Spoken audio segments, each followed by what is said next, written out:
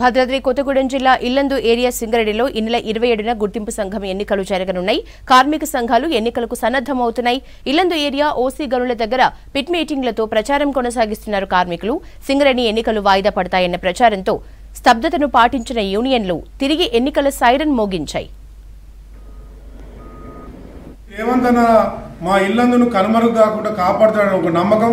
Quorum Kanakala నాయకత్వంలో గతంలో రెండు వేల పదిహేడులో పనిచేసిన మరి గెలిపించుకున్న కార్యకర్తలకు అండగా ఉన్నారు కాబట్టి ఈసారి కూడా పట్టం కట్టారు.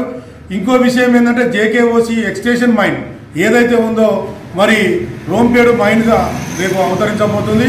దాంట్లో ఇల్లందు నుంచి ఏ ఒక్క కార్మికుడిని కూడా మేము పంపించకుండా ఇల్లందుల్ని సర్దుబాటు చేయాలనేది ఒక ప్రధానమైన లక్ష్యంగా మేము పెట్టుకున్నాం.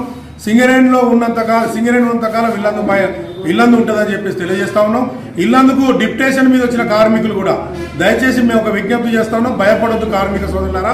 డిప్టేషన్ మీద వచ్చిన కార్మికులందరినీ కూడా ఇల్లందుల్లోనే మేము కాపాడుకుంటాం. ఇల్లందు నుంచి ఎటు వెళ్ళనీయమని చెప్పేసి కార్మిక సోదరులకు మనవి చేస్తా ఉన్నాం. ఇల్లందును కాపాడే దమ్ము ధైర్యం కాంగ్రెస్ పార్టీకి ఐఎన్టీసీ యూనియన్కే ఉంది.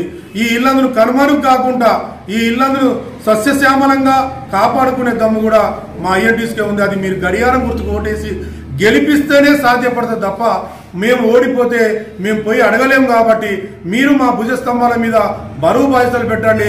ధర్మబద్ధంగా న్యాయబద్ధంగా యూనియన్గా మేము ఏం చేయాలో పార్టీ ముందు పెట్టి కాపాడుకుంటామని చెప్పేసి కార్మికులకు తెలియజేస్తా ఉన్నాను. గుర్తింపు సంఘ ఎన్నికల్లో సింగరేణి కాస్ వర్కర్స్ యూనియన్ అన్ని ఏరియాల నుంచి కూడా మేము పదకొండు ఏరియాలో పోటీ చేయడం జరుగుతూ ఉంది. ప్రభుత్వ పరంగా యూనియన్లు ఉంటే మరి కార్మికులకు ఎలాంటి ప్రయోజనం ఉంటుందనేది పూర్తిగా మనకు అర్థమవుతా ఉంది. ఇవాళ సిపి భారత కమ్యూనిస్ట్ పార్టీ సిపిఐగా అదేవిధంగా ఇవాళ సింగరేణి కాస్ వర్కర్స్ యూనియన్గా ఇవాళ ప్రభుత్వంలో అధికారం ఉన్నా లేకపోయినా ఎంపీలు ఉన్నా లేకపోయినా కూడా ఎనభై ఒక్క సంవత్సరాల చరిత్ర యూనియన్ కార్మికుల కోసం సింగరేణి కార్మికుల కోసం అనేకమైనటువంటి ఉద్యమాలు చేసి అనేకమైనటువంటి హక్కులు సాధించుకున్నటువంటి చరిత్ర ఉంది. ఇలా ఒకప్పుడు ఆరు వేల మంది కార్మికులు పనిచేస్తే ఇవాళ ఆరు వందల మంది కార్మికులు పనిచేసేటువంటి పరిస్థితి వస్తూ ఉంది.